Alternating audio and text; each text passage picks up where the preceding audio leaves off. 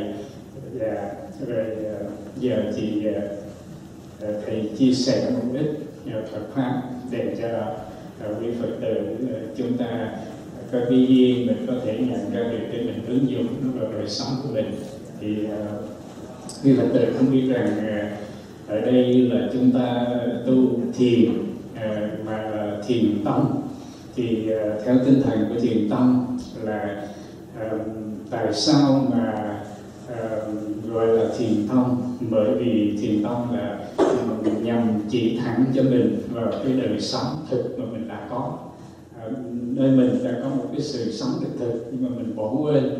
Rồi uh, thời của sau thời của Đức Phật mấy trăm năm đó thì uh, khi Đức Phật dạy cho hướng dẫn chỉ thẳng cho uh, uh, những người đệ tử của ngài nhận ra để sống đó thì uh, sau khi uh, lúc đó là gọi là chỉ thẳng ở trong cái đời sống.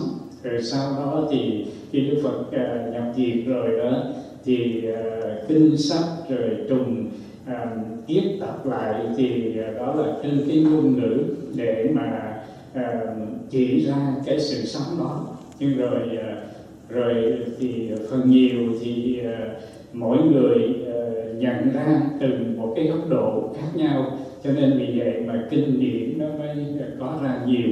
Và có ra nhiều rồi nhiều rồi bắt đầu có nhiều tông phái à, trong lúc đó là từ 18 phòng tông phái đến 25 tông phái chỉ do đó mà có cái sự tranh luận với nhau.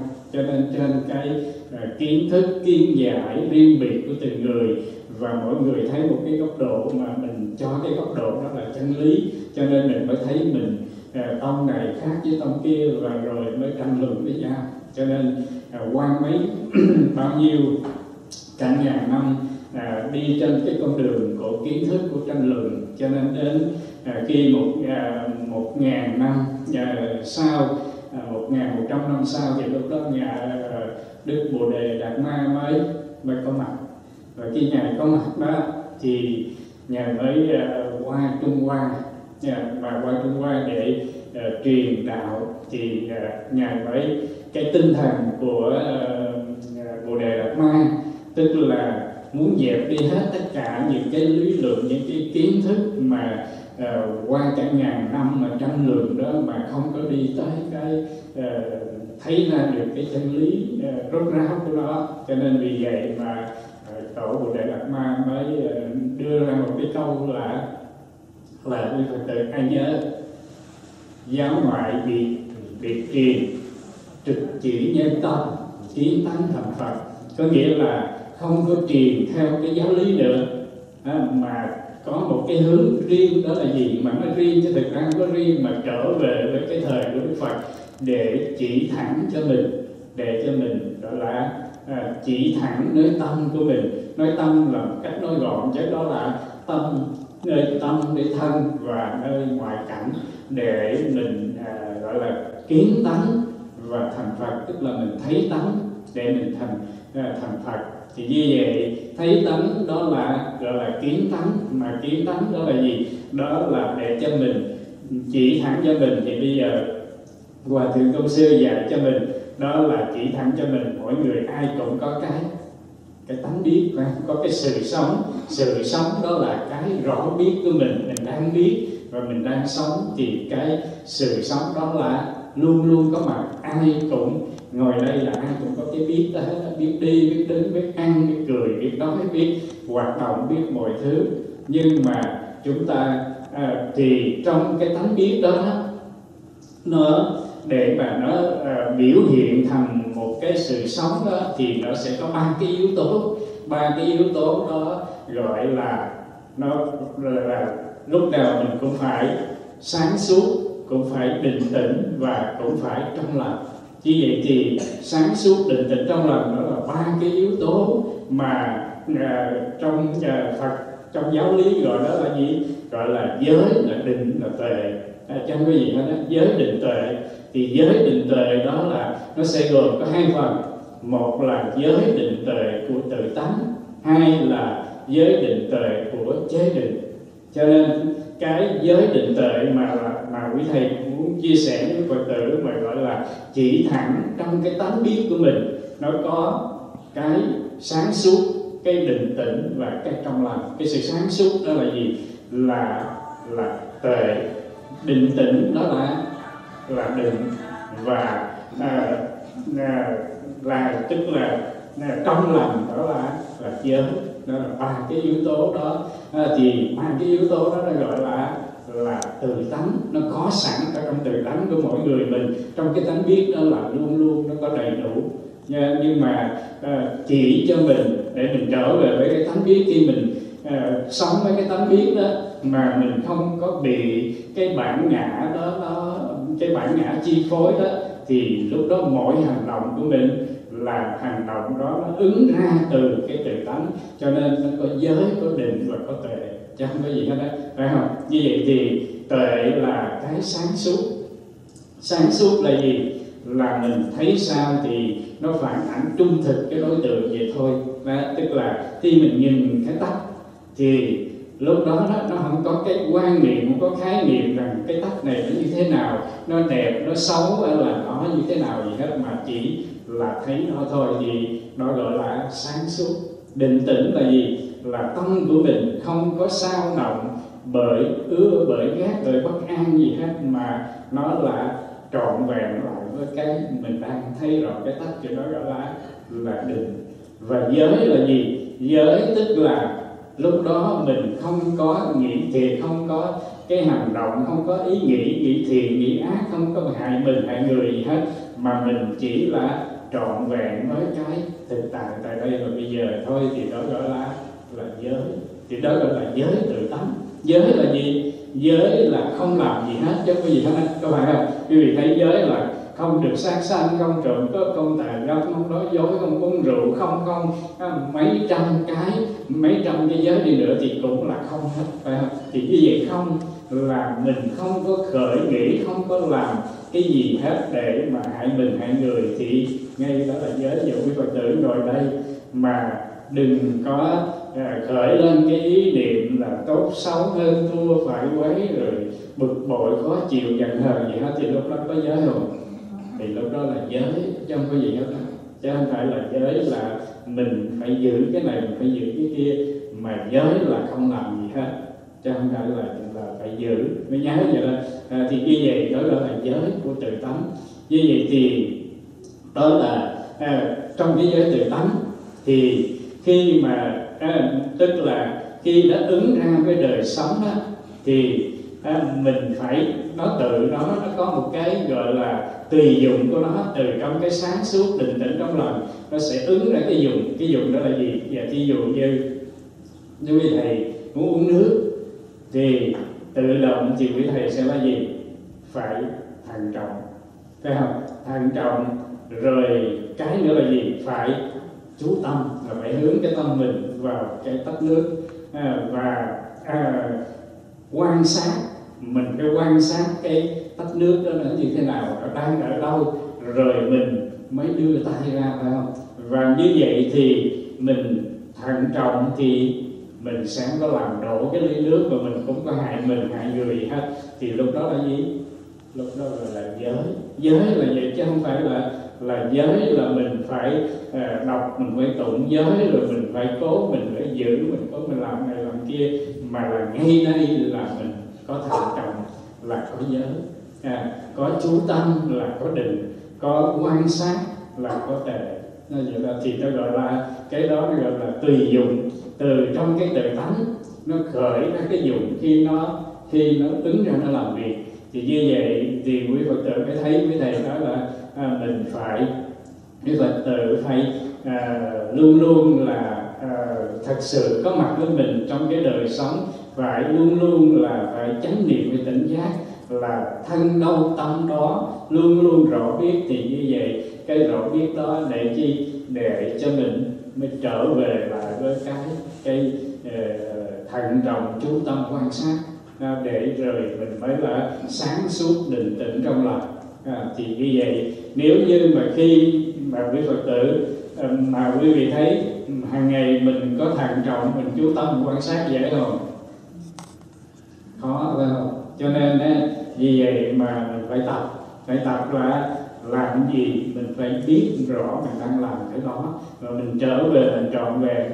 Thì như vậy khi mà mình à, mình không có à, không không có thành thận trọng, không có chú tâm, không có quan sát được à, thì ví dụ như một người mà mình gọi là sống được với cái tánh rồi đó, thì lúc đó là luôn luôn có có giới, có định, có tệ thì khi mình ví dụ như giả sử mình lái xe, thì mình lái xe thì mình trọn vẹn với cái sự lái xe của mình, mình thực sự có mặt với cái việc lái xe của mình thì lúc đó là có giới và mình trọn vẹn mình chú tâm để mình thấy rõ mình đang cầm cái lái rồi trước mắt mình bao nhiêu xe cộ gì đó là mình đều rõ biết hết. Thì mà tâm mình không có chạy đông chạy tay thì đó gọi là là có có có định phải không? Có gọi là có chú tâm ha, có chú tâm là có định. Rồi ha, mình quan sát, mình rõ biết thì đó là có tuệ. Nhưng mà bây giờ mình mới chú tâm, mình mới thận trọng chú tâm được một chút cái thì sao? Cái gì chuyện này, chuyện kia chen vô, có phải vậy không? Mình nó chen vô thì nó chen vô thì lúc đó là gì? Thì thì ví dụ như giờ mình đang đang gọi là thận trọng, đang chú tâm, đang quan sát, cái bỗng dưng thì mình nghe cái điện thoại reo. Phải không? Điện thoại reo, cái mình à, mình bốc lên mình nghe coi cái chị nói ở nhà mình bị cái gì đó có có thể có người có sự cố gì đó thì lúc đó mình xem sao? Lúc đó là mình không còn bình tĩnh nữa phải không? Mình không còn thể nào thận trọng chú tâm quan sát nữa mà tâm của mình là bắt đầu nó sao động nó bất an và nó hướng về cái cái câu chuyện cái đối tượng ở bên nhà ở nhà mình đó, thì mình lúc đó là mình không có thằng trọng không còn thằng trọng chú tâm quan sát nữa. Không thằng trọng chú tâm quan sát nữa thì lúc đó mình phải làm gì? Là tâm mình nó chạy rồi. Thì bây giờ mình phải sử dụng thái cái thứ là cái thứ ba đó là gì? Nó là hàng ngày mà quý thể nói đó là tinh tấn, chánh niệm và tỉnh giác, phải không? Tinh tấn thì, tinh tấn đó là xem sao? Tinh tấn đây là không phải là mình nỗ lực, mình cố gắng để mình làm gì hết á. Mà tinh tấn là mình không có buông lung, không có phóng dật tức là gì? Buông lung, phóng dật là gì? Ngồi đây đang cầm tay lái mình nhớ tới chuyện ở nhà, nhớ chuyện ở trên, ở dưới, nó gọi là gì? Là buông lung, là phóng dật bây giờ mình tinh tấn là gì? Là mình trở về lại với cái mình đang lái xe. Mình muốn không biết chạy đông, chạy tay rồi thì đó gọi là là tinh tấn chứ không phải tinh tấn là làm gì nhiều. Quý vị thấy như vậy thì tinh tấn quý vị thấy dễ không? Dễ mà có gì đâu phải không? Bây giờ mình thấy mình chạy ờ, mình buông luôn mình không giật thì mình kéo mình trở về lại với cái thực tại mà mình đang lái xe đó là tinh tấn. À, rồi chánh niệm là gì? Chánh niệm tức là mình trọn vẹn lại với cái việc mình lái xe đó mình cầm tay lái và mình thấy mọi cái mọi thứ đó mình đang thấy rõ đó là là chánh niệm chứ phải niệm gì hết mình nhiều khi mình không có hiểu không có biết chánh niệm thì mình cứ nghĩ là niệm theo cái nghĩa là niệm như niệm phật. Nên ví dụ như mình ngồi đó mình nói niệm chánh niệm là mình cứ nó cầm tay lái thì mình cứ niệm mình nói tôi đang cầm tay lái cầm tay lái nhưng mà tôi đang lái xe lái xe là chánh niệm. Không phải mà chánh niệm là chỉ trọn vẹn lại với cái thực tại đó thôi. Thì đó gọi là chánh niệm. À, mình không có mặt với thực tại thì gọi đó là gì? Là thất niệm nhớ, người vị không có mặt với thực tại là thất niệm. Rồi mình nghĩ lung tung thì đó là gì? Đó là tạp niệm, phải không? Rồi mình nghĩ không có đúng với cái sự thật thì gọi đó là là vọng niệm. Vọng là không đúng với cái thực không đúng cái thực là sao? Mình à, mình gặp người nào đó là mình bao giờ mình thấy được cái thực của người đó, phải không? Mà không bao giờ mình thấy người đó như người đó là đó mà mình thấy người đó thì mình liền cho người đó là phải không? Ví dụ như giờ ta à, ngày nào ta cũng à, vui vẻ với mình hết đấy. Và bữa đó không biết chuyện gì ta gặp mình cái ta không cười nổi nữa ta mặt ta bí xệ, xuống mình chào ta ta không nói. Ta ngó lơ thì lúc đó mình sẽ sao? Thì mình sẽ cho là người đó đang giận mình. Người đó đang như thế nào? Cái gì gì với mình đó thì như vậy nó gọi là gì? Nó gọi là vọng niệm. Vọng tức là mình khởi một cái điều mà nó không có đúng với cái sự thật của nó, thì gọi nó là lòng vòng. Thì như vậy, quý phật tử nhìn lại, thì trong đời sống mình là ba cái đó mình chắc dường như dính hết à phải không? Ba cái đó ai cũng dính hết. Cho nên bây giờ mình phải làm gì? Mình phải tinh tấn tinh tấn mà mình phải trở về trở về lại với cái thực tại đó thôi. Thì đó gọi là tinh tấn chánh niệm và tỉnh giác là gì? Là phản ảnh trung thực, cái thực tại đó thôi, chứ không có gì hết. Thì đó gọi là, cái đó nó gọi là minh sáng minh sáng tức là mình trở về để mình rõ biết là cái thực tại. Thì đó là là ba cái pháp để ba cái yếu tố mà để mình mình sống ở trong cái gọi là cái tánh biết của mình à, để mình sống. Rồi bây giờ những cái đó mà mình vẫn lăn xăng mình làm không được. Thì bây giờ Phật phải chế gì? Phật phải chế ra gọi là giới chế định định chế định và tuệ chế định. Ra giới chế định là gì?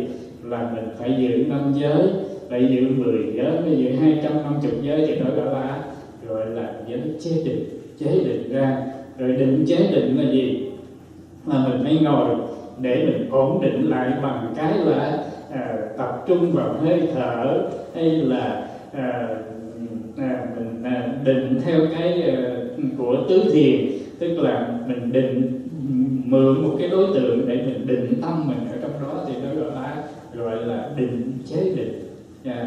và tuệ chế định là gì? Tuệ chế định là mình phải à, văn tư và tu. Phải không? Văn là nghe cho nhiều học cho nhiều tư là phải ngồi đó suy nghĩ rồi mới mới tu thì đó gọi là gọi là tuệ chế định.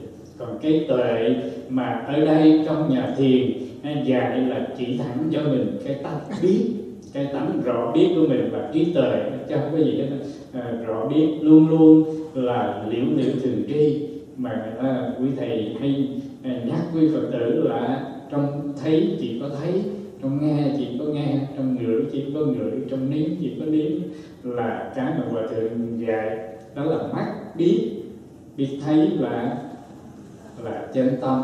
Phải một tay biết nghe là chân tâm mũi biết ngửi là chân tâm lưỡi biết nếm vị là chân tâm thân biết xúc chạm là chân tâm. Nhưng mà muốn muốn sống với cái đó thì mình phải buông cái ảo của cái bản ngã mà, mà ngày hôm qua mình nói đó là mình à, mình thấy đẹp, thấy xấu, rồi mình à, ưa, mình ghét, rồi mình muốn chiếm hữu hay là mình muốn loại trừ đó, thì những cái đó nó gọi là là cái pháp của thế tục, nó gọi là tục đế chế định ra. Cho nên vì vậy mà mình tu khi mình sống, nhận ra nên mình có cái tánh biết rồi đó, thì mình tu là mình chỉ buông cái ảo của cái bản ngã mà mình ưa tức là mình cái thực tại của đời sống của mình đó nó vận hành thì nó vận hành đúng cái nguyên lý của nó. Nhưng mà cái ảo của bản ngã thì nó mới cắt cái thực tại của cái à, nguyên lý vận hành của sự sống đó là làm hai thứ.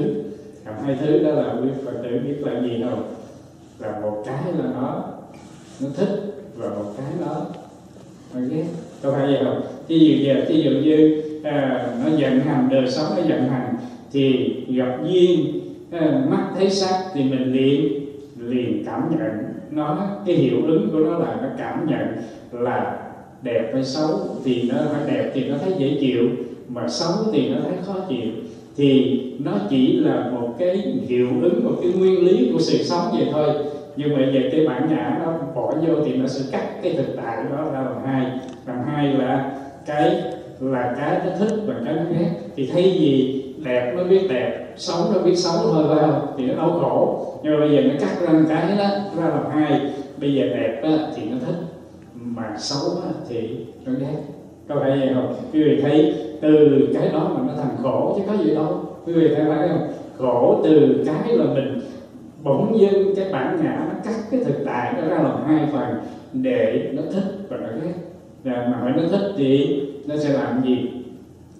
Nó sẽ tìm mọi cách để chiếm hữu phải không? Mà nó ghét thì sao? Nó tìm cách để nó loại trừ nó tiêu diệt. Nó bỏ đi có phải vậy không? Vì vậy mà à, giữ thì cái gì mình giữ mà giữ được thì thì khổ. Chứ cái mà cái gì mình muốn bỏ mình muốn không có nó nhưng mà nó vẫn có mặt với mình thì mình mình khổ. Chứ khác gì đâu phải không? Như vậy thì quý vị mới thấy là lý do khổ là do mình đem mình cắt thực tại ra làm hai cái để mình ưa và mình ghét. Thì à, mình mới tạo nghiệp. Lấy bỏ là là tạo nghiệp. Trong gì tạo tác tạo tác để đạt được để trở thành. Đó, thì chính cái tạo tác đạt được trở thành đó nó mới đi vào một cái luân hồi sinh tử ảo của của cái tâm thức của mình chứ không có gì hết quý vị thấy như vậy thì quý phật tử mới thấy rằng cái nguyên nhân như vậy thì cái nguyên nhân là mình phải đi tìm tất cả những cái nha ví dụ giờ à, quý thầy nhắc lại. Sáu căn khi tiếp xúc với sáu trần sáu căn sáu thức thì khi nó thí dụ như bây giờ mình nhìn vô bình quang thì con mắt mình chỉ thấy thôi phải không? Thì nó là cái cái tấm biết nó từ cảm nhận nó vậy thôi.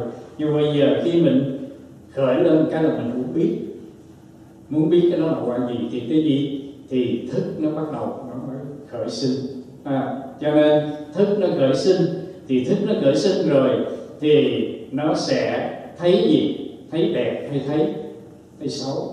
À, phải không? Thì đẹp thì nó dễ chịu mà xấu thì nó khó chịu. Nếu như chừng đó thôi đó thì nó sẽ có nó không có khổ. Nhưng mà bây giờ cái bản ngã nó bỏ vô nó cắt cái thực tại của cái mà nó đang nhận thức là nó đẹp hay xấu đó thì nó cắt ra nó đẹp thì nó thích nó lấy. Mà xấu thì loại trừ nó bỏ, cho nên mới bắt đầu có khổ đau. Thì như vậy, cái nguyên nhân không phải là do đẹp hay xấu mà mà khổ, mà nguyên nhân của khổ là do thái độ mình phản ứng vô để mình thích mình thích thì mình giữ, mà ghét thì mình tiêu diệt, mình loại trừ. Thì từ cái cái thích, cái ghét đó trong 12 nhân duyên rồi, cái đó là gì? Quý bạn tự nhớ rồi. 12 nhân viên là gì? Vô minh hành thức, danh sắc, lục nhập xúc, thọ, ái, thủ, ngũ, sinh, lão tử. Thì như vậy, cái mà thích hay ghét đó nó nằm ở đâu? Chắc không ai nhớ? Nó nằm ở chỗ ái. Phải không?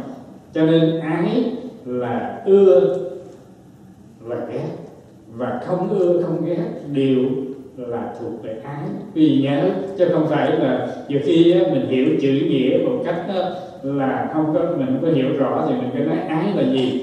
Ái là uh, ưa thích phải không? Ái là ưa thích mà ưa thích theo cái kiểu ái mà gọi là ái dục của nam nữ đó thì nó không có chính xác.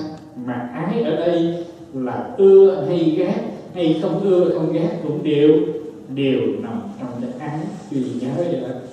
Thì như vậy mấy nguyên nhân của cái dòng luân hồi sinh tử đó là từ từ ái, phải không? Cho nên từ cái ái, còn cái cái đời sống mà từ vô minh hành thức, danh sắc lục nhập, xúc là nó là một thực tại của quá khứ, nó trổ thành cái quả hiện tại. Mà khi cái đó nó trổ thành cái quả hiện tại thì nó là gì? Nó là pháp vận hành khách quan của nó dù trước kia là do nghiệp mình tạo ra đời trước nhưng bây giờ nó trổ sinh thì nó chỉ là thành pháp khách quan chứ trong đó nó không có khổ. Nó chỉ có cái cảm giác cảm thọ là dễ chịu hay khó chịu thôi phải không? À, thì cái đó nó gọi là gì? Nó gọi là quả trổ sinh. À, vô nhân dị thục dị thục là cái quả nó chín mùi. Nó chín mùi rồi thì nó gặp duyên thì nó phải trổ ra. À, cho nên trong đó, cái nhân mình chứa ở trong đó thì quý vị thấy trong cái tánh biết của mình khi mà mình ra đời, cái mình, quá khứ mình đã tạo rồi thì trong đó ai cũng có gì? Tham, sân, giận, hờn, ganh tị, đố kỵ, kỳ thị, sợ hãi và hận thù.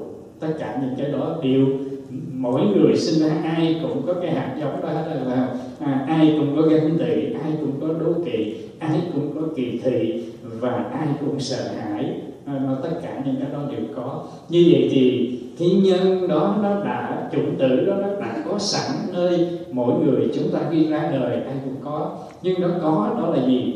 Đó là nhân quả của cái gọi là nó, nó trổ sinh để rồi nó tự nó hết, chứ nó không có khổ. Trong đó, phải không? Như vậy thì quý phật tử mới thấy rằng khi mình tu cái mình nói sao? Là phải ráng tu làm sao để mình dẹp hết tham, hết sân, mình phải diệt tham, diệt sân. Khi người ta nói là à, diệt tham, diệt sân thì để đạt được niết bàn không phải. Mà là thấy rõ tham sân, thì tham sân tự nó hết. Nó không khởi sinh nữa à, tức là cái tham cái sân cái si của quá khứ từ quá khứ khi nó trổ sinh thì nó là nó là quả thôi. Nó không có là khổ đau gì nó không có gì hết đấy cho nên lúc đó thì như vậy thì trong mình nó là có tất cả những cái hạt giống đó rồi. Cho nên gặp duyên thì mình liền khởi tham phải không? Rồi gặp duyên thì mình khởi sanh. Gặp duyên thì mình khởi ganh tị gặp duyên cái mình khởi đố kỵ gặp duyên cái thì mình khởi cái sợ hãi lo âu buồn phiền gì đó. Tất cả những cái đó là gì? Đều là quả trổ sinh. À, cho nên quý bạn đừng nhớ mà đã là quả trổ sinh thì mình tu là chỉ gì? Chỉ soi sáng sử dụng trở về à, lấy cái tánh biết sẵn của mình để biết nó thôi soi sáng lại nó thôi chứ không có không có việc nó không có làm gì được hết đấy à, quý thầy à, chỉ rõ về để cho quý phật tử biết như vậy thì à, mình cứ à, mình tu lâu nay thì mình cứ về à, dạy là mình phải à, dẹp hết tham sân giận hờn ganh tị của mình. Cho nên mình cố sao? Mình cố mình chăm chăm để mình dẹp những cái đó mình cho những cái đó khởi sinh lên là không phải. Mà là gì? Phải cho nó khởi sinh lên nó trổ thành quả để chi? Để mình rõ biết nó thôi rõ biết nó mà à, quý phật tử đừng có cái thái độ phản ứng với nó. Thái độ phản ứng ra đối tượng cũng đừng có thái độ phản ứng với nó thì thì từ từ nó hết nè nó không có phải gì gì hết á mà nó từ nó chuyển hóa nó. Cái cái tánh biết để cho tánh biết từ chuyển hóa và pháp nó tự chuyển hóa với mình thì tu là mình cứ đem cái bản ngã của mình để mình tu tức là bây giờ quý vị thấy khi mình đau khổ quá thì à, không dự ý mình đau khổ. Thì mình nói tu để cho mình hết khổ thì mình sẽ làm gì? Mình sẽ cố gắng mình nỗ lực mình sử dụng một cái phương pháp nào đó để mình tu để mình mong mình đạt được cái à, gì đó để rồi mình hết khổ. Cho nên mình tu vậy thì nó không có nó không có chính xác. Cho nên bữa hôm qua mình nói đó tối mình chia sẻ với nhau đó là cái khổ đó nó có ba thứ khổ mà mình phải thấy ra cái khổ nào là mình tu để à, để dẹp cái khổ đó để không còn cái khổ đó. Và cái khổ nào là cái khổ mình phải đón nhận và mình phải thấy đúng bản chất của nó. Ví dụ như nó có một cái là khổ tự nhiên. Tự nhiên của quả thì quý vị thấy là mình sinh ra thì trời nắng thì mình à, à, nắng quá thì mình à, khổ không khổ và nóng quá cũng khổ. Rồi lạnh quá khổ không cũng khổ. À, rồi mình ví dụ giờ mình đưa tay vô lửa nóng thì khổ hồi xưa khổ phải không? Nhưng mà quý vị thấy những cái khổ đó nó cần cho sự sống của mình.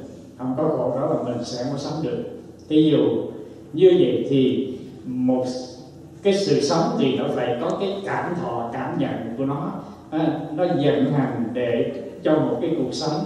Ví dụ bây giờ quý vị đưa tay vô lửa mà không có cái khổ của nóng đó thì lúc đó làm sao nè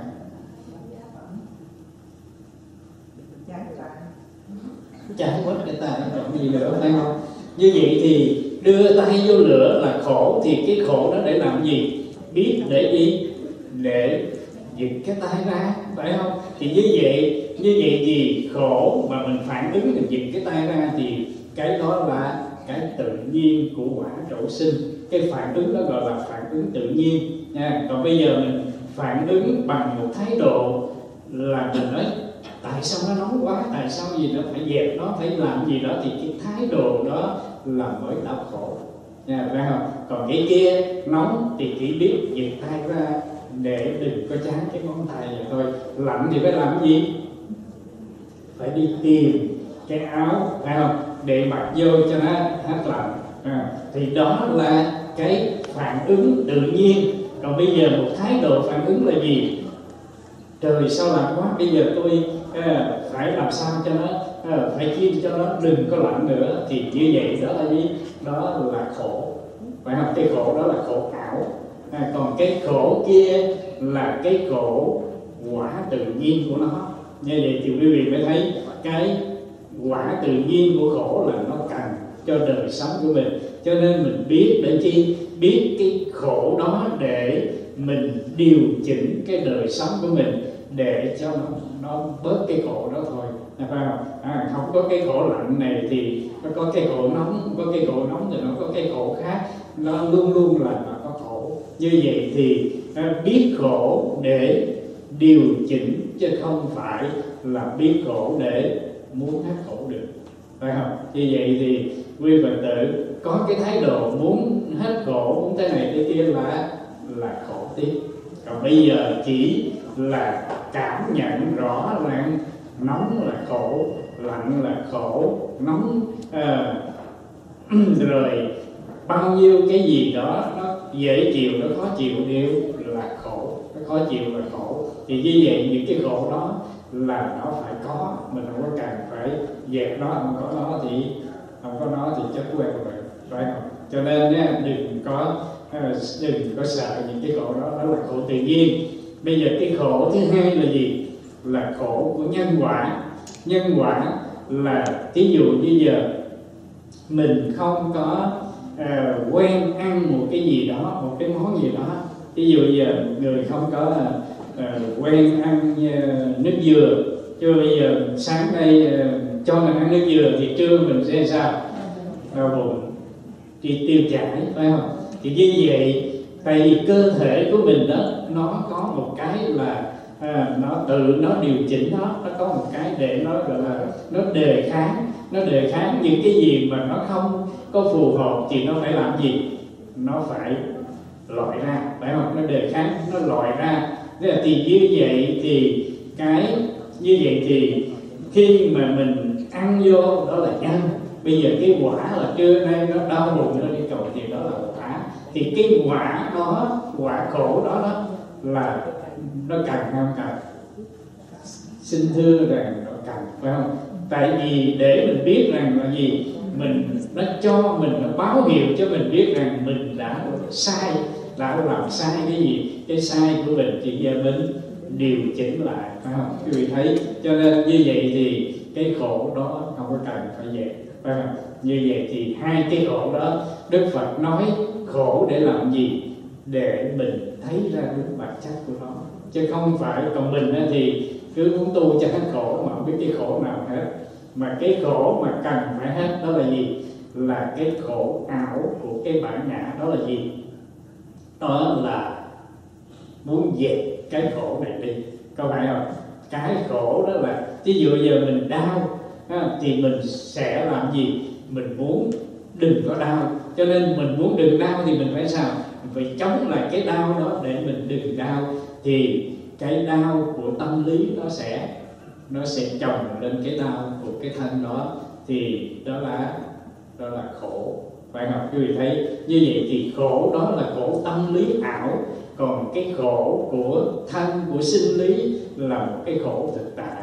Cái khổ đó phải có chứ nó không có. Nó không có thể nào mình dẹp bỏ được. Nó chỉ là đừng có thái độ à, chống lại cái khổ rồi đừng có thái độ muốn giữ cái hạnh phúc. Thì chính cái thái độ muốn giữ hạnh phúc và cái thái độ muốn chống lại cái khổ thì nó mới là mới là khổ.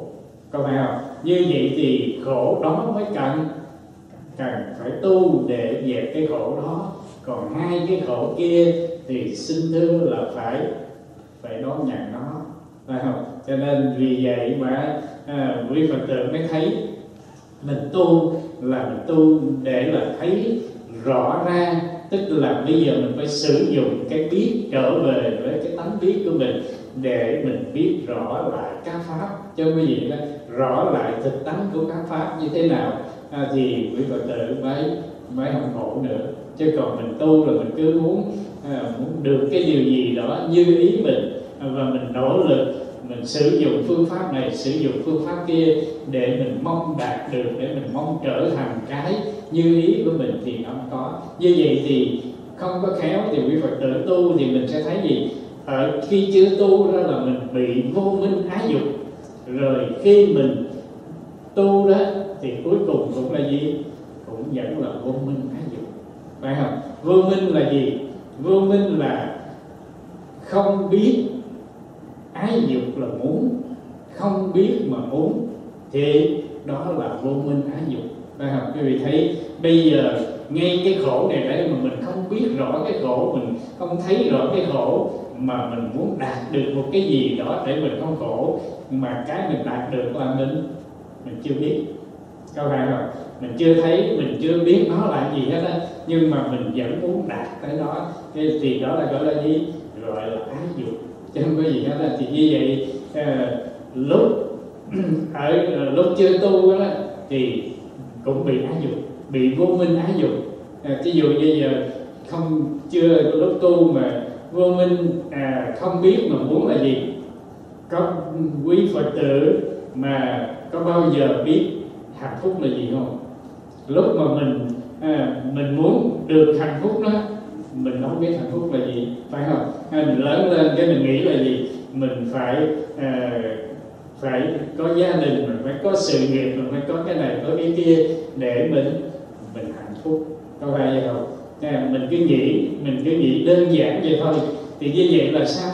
Là không biết hạnh phúc là gì mà vẫn muốn hạnh phúc. Cho nên gọi là là vô minh. À, không biết mà muốn là là ái dục thì quý phật tử thấy mình nói là mình có gia đình để mình được hạnh phúc, thì mình có hạnh phúc được bao nhiêu? Có hạnh phúc hoàn toàn không? Không có đâu phải không? Thì như vậy là gì? Là vô minh, bị vô minh ái dục nó nó lôi dẫn và nó chi phối, chứ không có gì hết. Vì vậy đây rồi cái khổ quá rồi sao?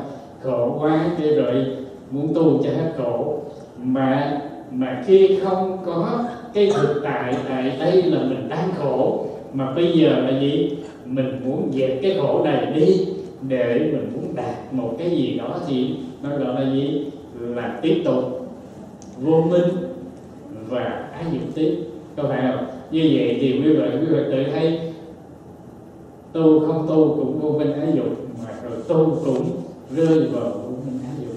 Còn ở đây khi mà mình à, trở về để mình thấy rõ cái thực tánh tức là mình kiến tánh đó thì tức là ông còn vô minh nữa trong cái gì đó mà kiến tánh thì là gì? Là trở về để thấy rõ cái bản chất của cái tại đây và bây giờ. Mà khi mình trở về với cái tại đây và bây giờ tức là gì?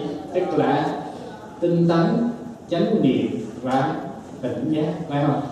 Tỉnh tinh tấn chánh niệm tỉnh giác trở về lại thì mình sẽ cảm nhận nó như thế nào thì cảm nhận nó gì thôi thì thì không có vô không còn vô minh còn còn ác dục nữa.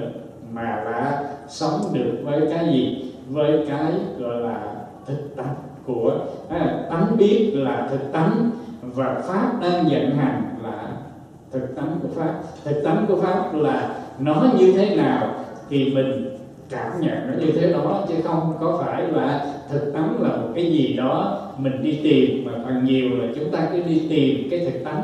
Nhưng mà thực ra à, cái gì mắt thấy tai nghe mũi ngửi lưỡi nếm thân xúc chạm đều là thực tánh hết chứ không có không có cái gì gọi là à, không phải thực tánh. Cho nên vì vậy mới một vị mới à, khi đi tu mới hỏi thiền sư vậy chứ là hỏi vậy chứ thưa ngài à, ngài chỉ cho con cái gì là đạo?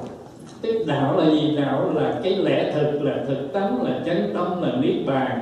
À, là đạo chứ gì phải không? Thì hỏi thì hỏi vậy chứ à, thưa ngài ngài chỉ cho con cái gì là đạo? Cái ông ông mới hỏi lại ông chỉ ông hỏi lại ông chỉ cho ta cái gì không phải là đạo? Phải không? Như vậy thì ý của ngài nói là tất cả những cái gì mà đang hiện hữu ở đây đều là đạo nhưng mà tại vì mình không có thấy, mình không có đón nhận nó, là ừ, ừ, để thấy nó đúng như bản chất của nó, như nó là mà mình luôn luôn là muốn nó, mình cho nó à, làm mình tưởng nó là, rồi mình muốn nó phải là, rồi mình mong nó sẽ là. Cho nên vì vậy, cho nên mình không bao giờ thấy thấy đạo phải không? Như vậy thì đang ở đây là cái thấy trước mắt đây mình không thấy, mà mình hỏi đạo đạo là cái gì? Thì tức là mình đi tìm đạo ở đâu đó, trong khi đó đạo là cái thấy, cái nghe, cái ngửi, cái nếm, nó đang trước mắt mình tại thời. Vì thì quý phật tử thấy có phải mình cũng vậy phải không? Mình nói mình tu là mình cứ nghĩ rằng phải tu là phải thấy cái gì đó chứ còn à, còn ở đây mình nhìn vô tâm mình thì mình thấy toàn là vọng tưởng à, niệm này niệm kia rồi tham rồi sân rồi đủ thứ hết. Thì mình cho đó là gì? Mình cho mình không có mình không chấp nhận nó và mình muốn đi tìm nó. Mình muốn dẹp nó hết đi diệt nó hết đi để à, mình đi tìm một cái à, gì theo cái ý của mình thì nó không có nó không có đúng. Cho nên nó vẫn là rốt cuộc lời đi tìm kiếm thì quý phật tử thấy nó cũng chỉ là gì? Khổ đau phải không? Nó không khác. À, tìm mà tìm cái mà mình cho nó là niết bàn là chân tâm là phật tánh mà mình à, mình tìm được đó thì nó vẫn là gì? Nó vẫn là cái để gì? Để phục vụ cho cái cái bản ngã của mình chứ nó không có phải là à, như vậy thì như vậy như vậy mà mà quý phật tử có nhớ à, đi sư như thủy có cái mấy câu thơ có bài kệ bài thơ mà có mấy câu là gì? Nếu biết trần gian là quyển mộng đó phải không? Thì niết bàn có lẽ cũng chim bao. Nếu mà mình khái niệm rằng trần gian này là quyển mộng và mình bỏ cái quyển mộng này đi để mình tìm tới cái niết bàn mà mình muốn thì cái niết bàn đó vẫn là gì? Vẫn là chim bao à, cho nên à, do nó bởi vì trong khi đó nó, cái thế giới ngày qua mình nói đó thế giới thực là nó đang nó đang hiện hữu nhưng mà mình à, là không có nhận ra cái thế giới thực đó. Mình lại ảo ra nó thế này ảo ra nó muốn nó thế kia muốn nó thế nọ. Cho nên mình ảo nó ra thì mình biến nó thành gì? Nó thành ra là gọi là thế giới mộng, thế giới ảo. Thế gian mộng, thế gian ảo. Rồi từ cái thế gian mộng ảo đó thì mình mới gì? Mình muốn đạt tới một cái niết bàn. Thì cái niết bàn đó cũng là gì? Cũng là giấc mộng, cũng là chim bao thôi. Còn bây giờ mình buông cái cái ảo mà mình muốn đạt được, mình muốn trở thành, mình muốn thế thế này, thế kia đó, mình buông cái đó xuống, thì ngay nơi đó là là niết bàn chẳng có gì hết á quý vị quý vị và tử thấy ngồi đây quý vị có có niết bàn không hôm nay ngồi trong niết bàn đó mà không chịu mà cứ muốn đi tìm niết bàn kiếm niết bàn không phải không à, chỉ có gì là ngồi đây à, cảm nhận Ờ, thấy nghe ngửi điếm nó làm sao thì biết nó về dễ chịu, biết có dễ chịu, có chịu, biết có chịu. Hạnh phúc phúc biết hạnh phúc, khổ đau biết khổ đau. Vậy thôi, thì ngay đó là là niết bàn thôi. Nhưng mà cũng không cần phải cái khái niệm về niết bàn, mà cũng không cần khái niệm nó là hạnh phúc hay nó là khổ đau gì hết. Mà cảm nhận nó làm sao thì biết nó nó vậy thôi. Thì đó mới gọi là, mới gọi là gọi là gì? Giáo ngoại biệt trì, tức là phải rời hết tất cả ngôn ngữ, cả khái niệm, cả tất cả mà cả nó trở về lại với thực tánh của nó. Mà thực tánh của pháp là gì?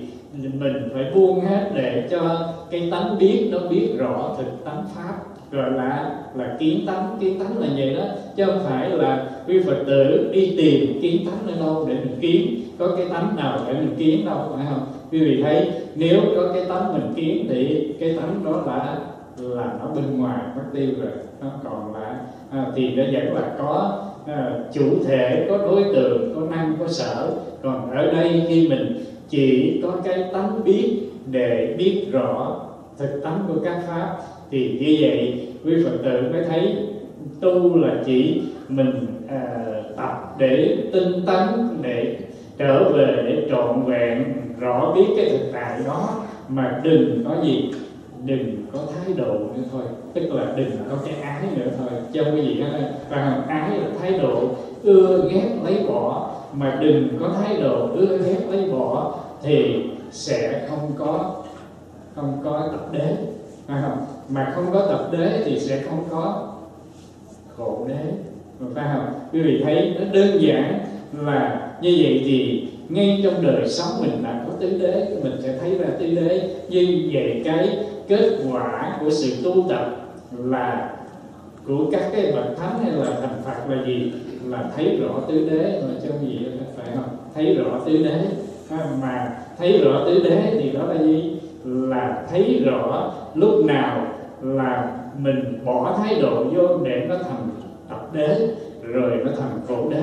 Và lúc nào là mình rỗng lặng trong sáng để mình đón nhận cái thực tại đó, thì đó rõ là gì là đạo đế chứ không gì đó. Đạo đế là chánh niệm tỉnh giác để thấy rõ mình đang dễ chịu hay đang khó chịu hay đang không dễ chịu không khó chịu.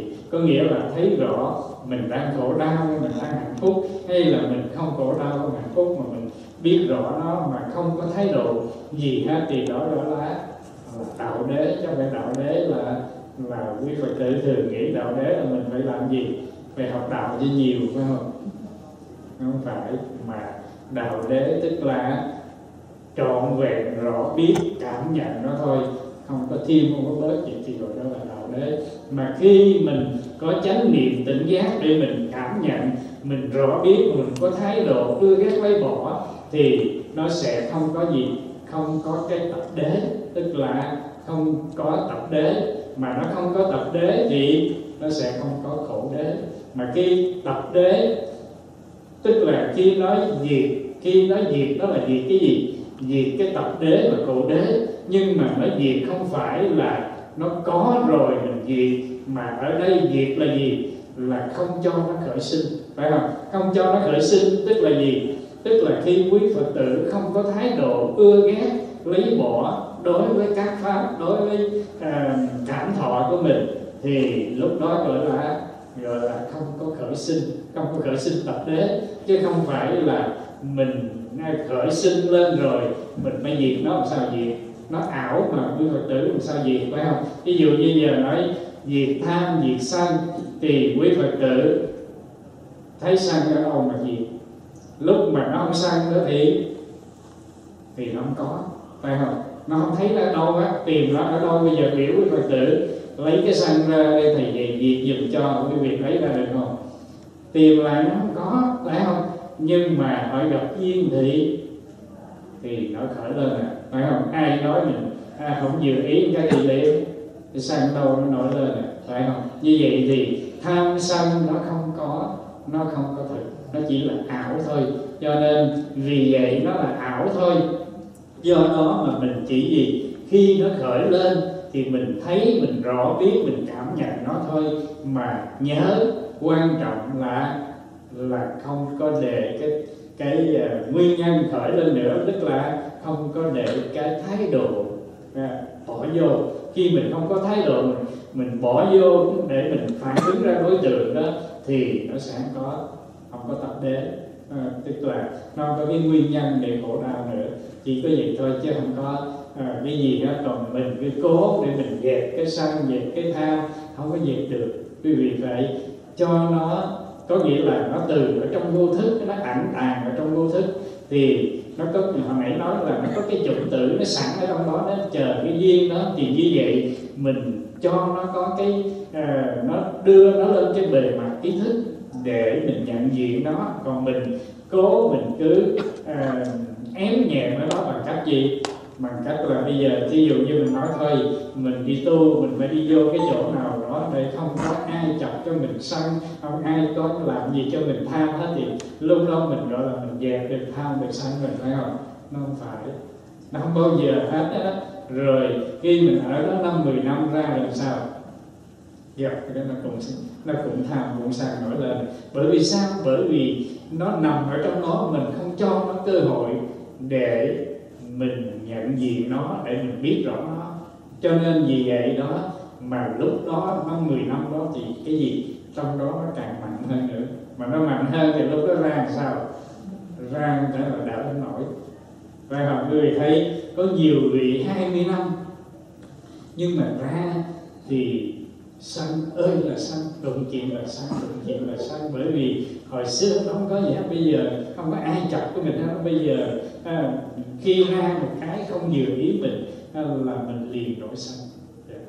Cho nên vì vậy mà quý phật tử phải khéo à, khéo để mình à, tu ngay ở trong mọi hoàn cảnh.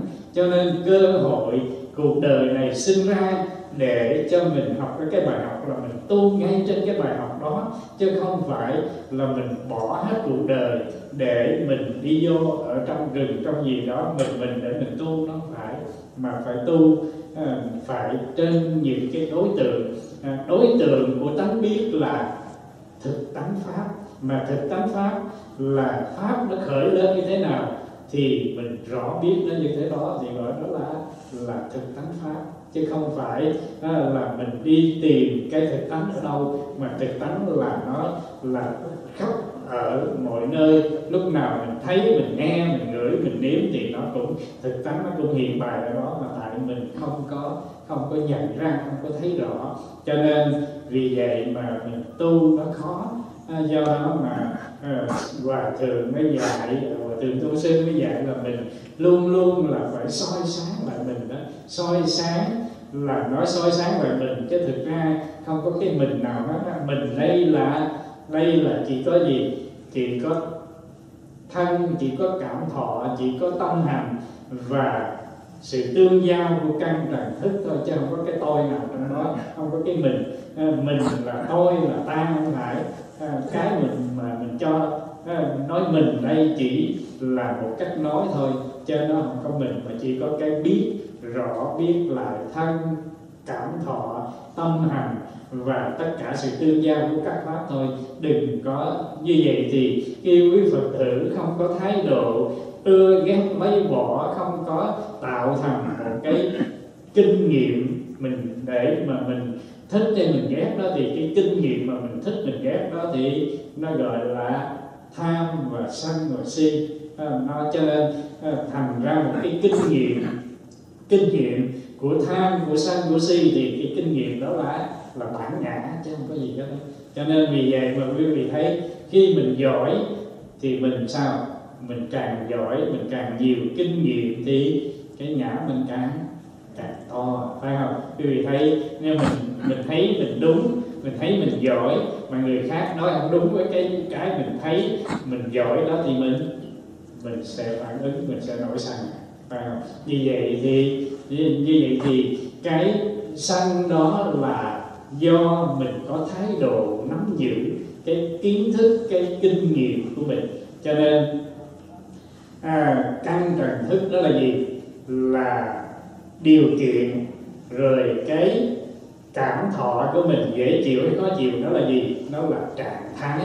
Rồi cái phản ứng của mình là phản ứng của tham hay tham hay sân hay si là phản ứng đó gọi là là thái độ thái độ phản ứng. À, rồi cái ba cái đó nó, nó trở lại thì nó thành ra cái kinh nghiệm kinh nghiệm của cái tham kinh nghiệm của cái sân và kinh à, nghiệm của cái si thì ba cái kinh nghiệm đó nó thành ra là bản ngã cho quý vị đó phải không? Quý vị thấy nó bản ngã rồi cái bản ngã cái mỗi ngày nó mỗi chồng chồng chồng chồng lên. Cho nên tham à, càng nhanh gặp cái là tham gặp cái là sân. À, và luôn luôn là bỏ quên cái thực tại để chạy đi tìm kiếm cái này tìm kiếm cái kia. Cho nên lúc đó là là si. Cho nên hoạt động của mình là hoạt động trên tham trên sân và trên si. vậy không quý vị thấy cho nên như vậy thì tu là phải trở về lại với mình để thấy rõ bạn mình. Thấy rõ thôi có tham biết có tham có sân biết có sân đừng thêm gì nữa hết đừng có thái độ phản ứng thì quý phật tử sẽ thấy là là tham sân nó tự nó hết nè. À, chứ không có không có gì nó được. Cho nên cái quan trọng vẫn là tỉnh giác rõ biết. Cho nên vừa à, thiền sư mới dạy là mình phải luôn luôn à, liễu liễu thường tri là luôn luôn rõ ràng thường biết rõ ràng thường biết. Là bây giờ mình có tham hay không tham bây giờ mình có sân hay không sân à, mình đang có mặt với thực tại hay là mình quên cái thực tại đó mình cứ chạy theo quá khứ theo tương lai theo à, những cái mình À, chìm đắm mình nắm giữ. Cho nên ba cái à, quá khứ hiện tại và tương lai là mình nó luôn luôn bị cái gì bị nó chi phối. Và bây giờ mình đừng để quá khứ để tương lai để hiện tại nó chi phối nữa mà chỉ còn lại cái gì? Chỉ còn lại một thực tại mà mình đang rõ biết nó như thế nào thôi à, quý phật tử. Như là thực tại mình đang rõ biết thì lúc đó sao lái xe thì rõ biết mình lái xe, phải không? Rồi lạc rau thì rõ biết mình lạc rau. Rồi rửa chén thì rõ biết mình rửa chén. Rồi đi, bước chân đi thì mình rõ biết mình, bước chân mình đi. Rồi mình đi vô nhà vệ sinh, mình rửa mặt, mình làm gì đó, mình đều luôn luôn rõ biết. Mà quý phật tử thấy mình, thường thì mình sống cái gì? Sống với cái rõ biết nhưng mà sống với cái quán tính, cái thói quen sống với thói quen nhiều phải không? À, thói quen không à chứ còn thực sự mình không có mặt. Mình không thực sự có mặt với sự sống cho nên mình không có hiện hữu mình không có hiện diện với chính mình. Và mình luôn luôn là bỏ quên mình để mình đồng hóa mình ở trong trong hiện tượng trong đối tượng chứ không có thực sự có mặt. Cho nên giờ quý phật tử phải tập trở về để thực sự có mặt. Cầm ly nước lên là phải thực sự có mặt với ly nước. Chứ đừng có thấy ngon, thấy dở, rồi xin phiền não xin cái gì đó, rồi mơ ước cái gì đó mà ra ừ, cầm ly nước lên là rõ biết ly nước, phải không? Đưa vô là rõ biết, uống vô là là rõ biết nó. Như cảm nhận nó nó lạc, nó ngọt, nó như thế nào? Cảm nhận nó thôi mà không có thái độ phản ứng phải không? Còn có thái độ phản ứng là gì? Phản ứng thái độ phản ứng là phản ứng với thói quen của mình. Ví dụ thói quen là mỗi lần giảng là phải có ừ, phải có ly nước cam phải không? Bây giờ tự nhiên vô cho thấy uống nước chỗ uống nước trắng là sao? Cái gì khó chịu nó tại sao cho tôi uống nước cam mà tôi uống nước trắng thì đó là gì? À, đó là đánh mất đi cái thực tại và mình sống với cái quán tính với cái thói quen của mình. Còn ở đây nó không có sống với thực tại thì như thế nào thì rõ biết nó như thế đó thôi. Cho nên quý phật tử đừng bao giờ sống tạo thành một cái thói quen à, cái thói quen của mình. À, mà thói quen là gì? Thói quen là vô minh. Nó sẽ vô minh. Tại sao thói quen là vô minh? Bởi vì mình không thực sự có mặt mà mình chỉ làm bằng thói quen cho nên đó gọi là là vô minh. Và kinh nghiệm cũng là là vô minh. À, cho nên à, còn bây giờ thực tại thì nó như thế nào thì nó vậy. Kinh nghiệm thì nó là vô minh là gì? Ví dụ như nãy thay vì uống nước nó sao mình cảm nhận nó vậy thì đó là là minh. Mà bây giờ vô minh là gì? Tại sao không làm nước cam? Thì đó là gì? Là đã đánh mất cái thực tại rồi cho nên nó trở thành vô minh chứ không có gì hết và như vậy minh và vô minh cũng chỉ là tại đây và bây giờ thôi chứ không có gì hết hỏi trọn vẹn rõ biết cảm nhận nó thôi. À, mà không thiên không có gì là là minh. Mà phải khởi một niệm lên à, thì thẳng vô minh chứ không có gì hết à, vì vì vậy tử thấy dễ rồi. Dễ quá phải phải không? Không có gì đâu khó đâu mà tại vì mình uh, quên à, mình quên mình cứ sống theo thói quen thôi. Cho nên vì vậy mà à, cuộc đời là luôn luôn phải gì? Phải làm theo thói quen tập cho nó thành cái thói quen phải không? Mình à, là mình dạy dạy con dạy cháu hay là mình dạy nhau là cái gì? Phải ráng tập cho quen nha tập cho nó thành thói quen. Nhưng mà ở đây thói quen nó khác với lại cái nhường nhịn nhường nhịn là gì? Là lúc nào mình cũng thực sự có mặt để mình nhường nhịn với cái công việc đó. Còn mình làm theo thói quen thì mình không có mặt cái đó, mà chỉ có thói quen nó làm thôi. Nó gọi là thói quen của vô thức thôi. Còn ở đây nhường nhịn là mình thực sự có mặt để mình rõ biết và mình nhường nhịn với cái công việc đó. Cho nên nó khác với cái thói quen. Cho quý vị nhớ để mình Ờ, dạy con cái mình thì mình phải biết để mình hướng dẫn nó làm làm sống như thế nào học như thế nào làm như thế nào là cũng phải luôn luôn là rõ biết luôn luôn là trọn vẹn việc gì ra việc đó chơi cho ra chơi mà học cho ra học. Chứ đừng có lúc chơi thì nhớ tới việc học còn lúc học á, thì nhớ tới việc chơi. Mà là phải cho nó một cái là chơi là trọn vẹn rõ biết cái chơi của mình. À, trò chơi nó như thế nào như thế nào rõ biết chơi xong rồi gì rồi dẹp qua tới cái giờ học thì trọn vẹn với cái học học xong rồi là chơi chứ đừng có. Như vậy thì bảo đảm với quý phật tử là à, chúng ta sẽ à, sẽ có một cái tu nó thấy nó nhẹ nhàng nó thảnh thơi và đạo và đời nó sẽ gì? Nó không có nó không có tách rời nhau. Cho nên vì vậy đạo có mặt cho cuộc đời chứ không phải mình thì luôn luôn á, mình cứ nói là à, mình phải sống với đạo. Còn đời cái chuyện đó là chuyện đời bỏ qua nó không phải. Mà ngay trong cuộc đời mà mình thấy ra được cái cái bản chất thật của cuộc đời thì đó là gì?